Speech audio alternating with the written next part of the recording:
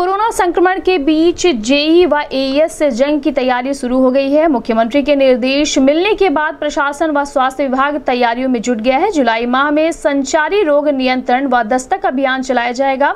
बारिश का सीज़न शुरू होने के साथ ही जेई व एएस की बीमारी शुरू होने की संभावना रहती है, क्योंकि यह बीमारी जल जनित है। ऐसे में शासन ने जुलाई माह में संचारी रोग नियंत्रण व दस्तक अभियान चलाने का निर्णय लिया है।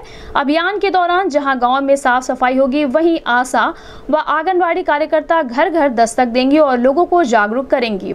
इस संबंध में गोरखपुर न्यूज़ से बात करते हुए सीएमओ डॉक्टर सुधाकर प्रसाद पांडे ने कहा। माननीय मुख्यमंत्री जी ने इसके लिए भी दिशा निर्देश दिए हैं कि सभी डॉक्टरों की, स्टाफ की ट्रेनिंग करा दी जाए। आपके एटीसी सेंटर जितने भी हमारे C S C P S C पर हैं, उन सभी को क्रियान्वित कर लिया जाए और हमारे मिनी पी को जो है, उनमें बेडों की संख्या बढ़ा दी जाए और उनको भी क्रियान्वित कर लिया जाए। और ज़्यादातर दो ज़ोर दिया है कि स्टाफ की ट्रेनिंग बिहाड़ी मेडिकल कॉलेज से या इससे कराई जाए जिससे कि ये लोग ट्रेंड हो जाएँ और किसी भी तरह का अगर कोई केस आता है तो उनको अच्छी तरह से इलाज कर दिया जाए। सर आशा कार्यकर्तियों को भी लगाया जाएगा?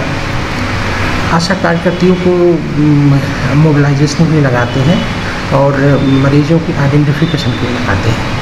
आशा कार्यकर्ती घर घर जाती हैं और ये पूछती हैं कि घर पे अगर कोई बच्चा है और अगर बुखार उसको आ रहा है तो उसको तुरंत पी पर रेफ़र करती हैं। पी में बच्चा आता है तो उसको इलाज किया जाता है। भर्ती की सुविधा है वहाँ भर्ती करते हैं और उसका इलाज